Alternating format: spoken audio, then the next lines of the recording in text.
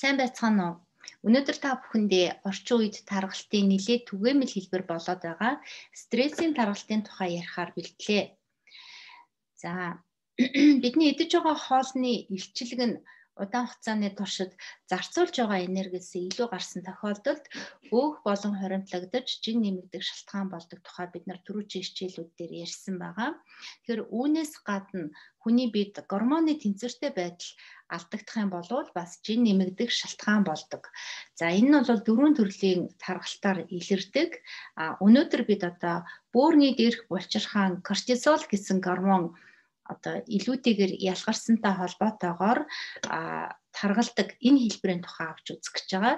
Тэгэхээр энэ хэлбэр маань онцлогтой нь хөвлийн таргалалт маягаар явагддаг. За энэ таргалтын үед бол мөчд нарийнхан байдаг буюу одоо мөчд нэг таргалтгүй. За мөн одоо арсны уян хатан чанар алдагдаж арс улбгор буюу ийм унжгар болдог ийм онцлогтой байдаг байна. Тэгэхээр стрессийн үед ялгардаг гормонуудыг бид нар аваад үзье тийм ээ.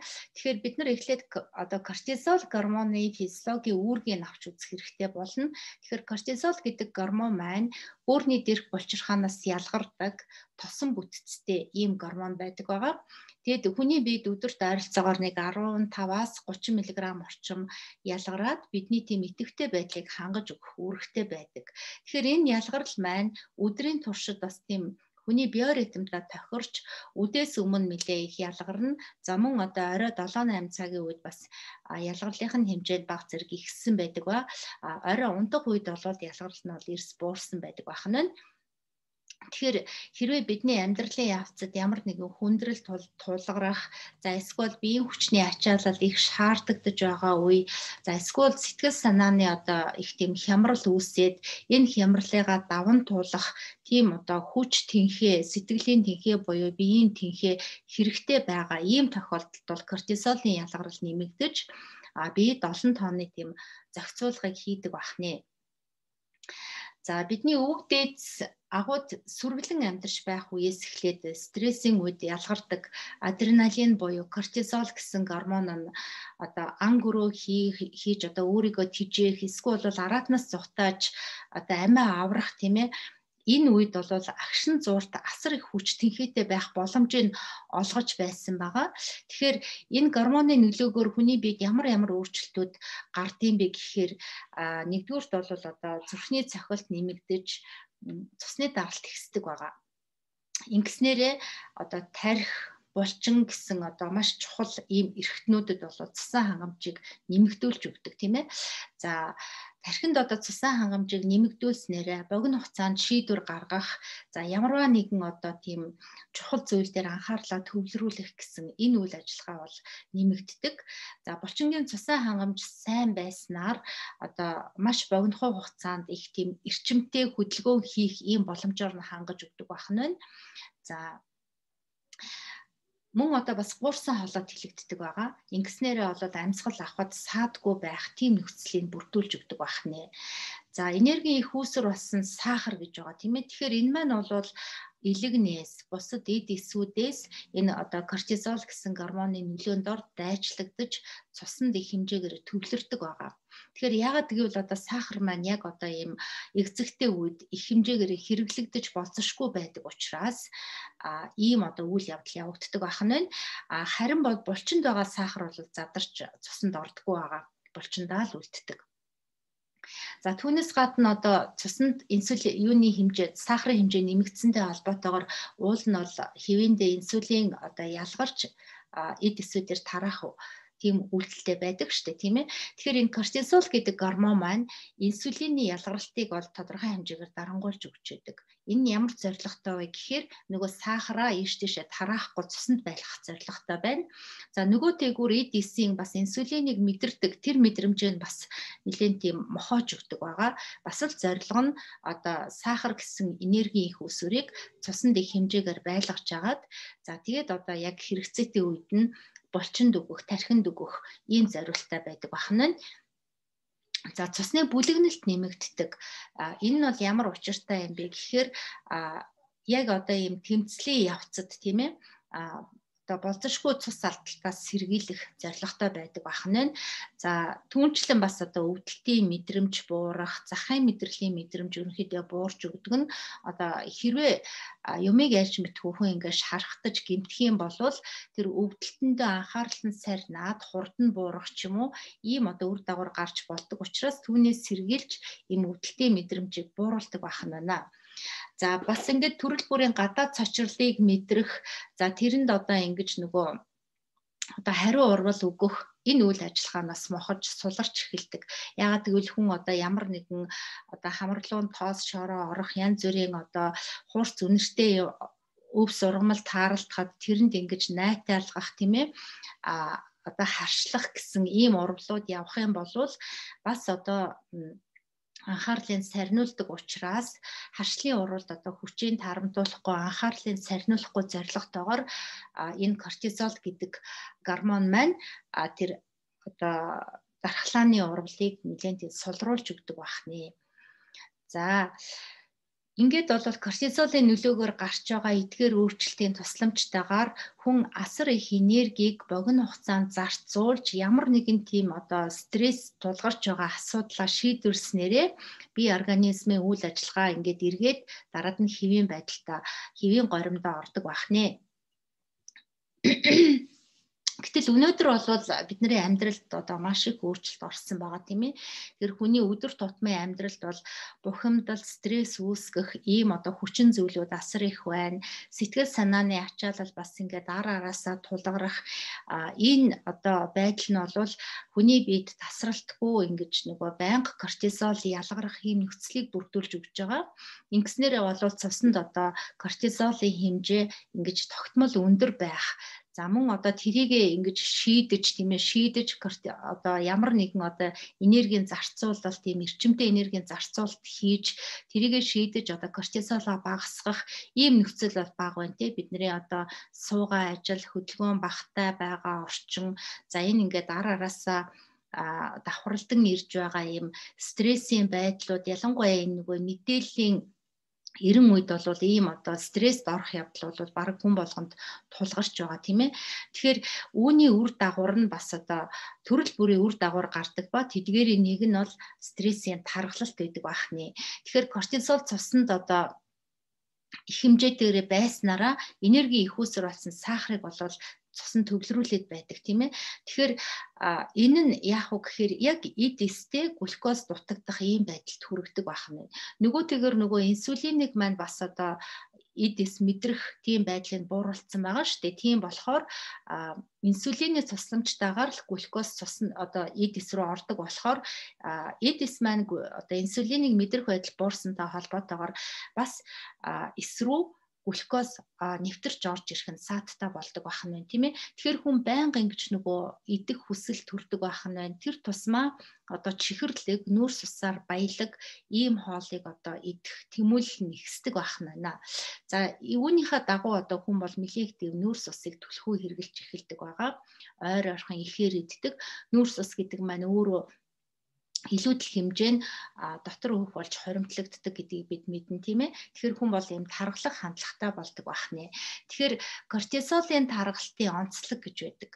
Юугаараа онцлог байдаг вэ гэхээр дотор эрхтний эргэн тойронд өөх хоримтлагдаж биеийн төв хэсгээрээ буюу юм хөвлийн тархалт үүсдэг ийм онцлогтой байгаа.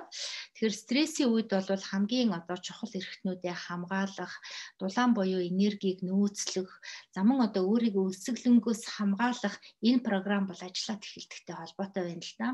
Тэгэхээр энерги зарцуулалт нь одоо явагдахдаа одоо өөхөө шатааж биш харин одоо булчингаа задалж явагддаг бас ийм хандлагатай болсон байдаг. За энэ нь болохоор ямар үр дагавартай байх вэ гэхээр бидний хамгийн том булчин болсон гуйны булчин байна, өгцөгний булчин байна.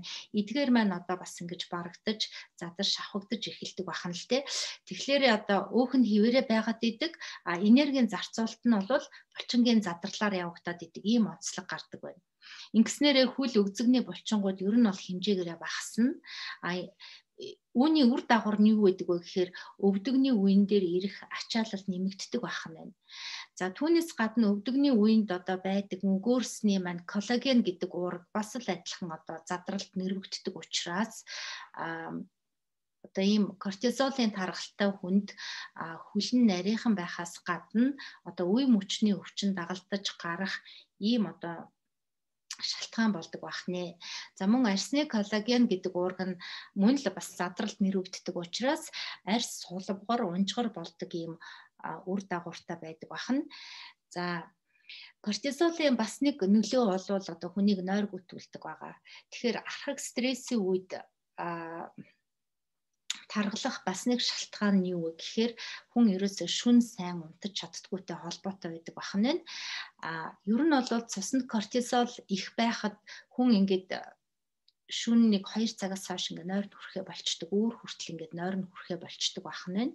За харин өдрийн турш бол ялангуяа өдрийн хоолны дараа бол унтмаар санагдах а ер нь бол өдөр бас тийм жоохон тийм ажлын чадвар багтаа байх ийм одоо явдал ажиглагддаг. Тэгэхээр хүний өөх бол одоо хүний одоо гүн нойрсдаг үе буюу энэ дельта нойр гэдэг энэ үед бол өөхний задрал явагдчихэдэг. Тэгэхээр бид нар одоо айгүй их одоо дасгал хөдөлгөөн хийж маш их одоо тийм а дасгалын ачаал авснараа өөхөө шатаадаг гэсэн ийм ташаа ойлголт байдаг.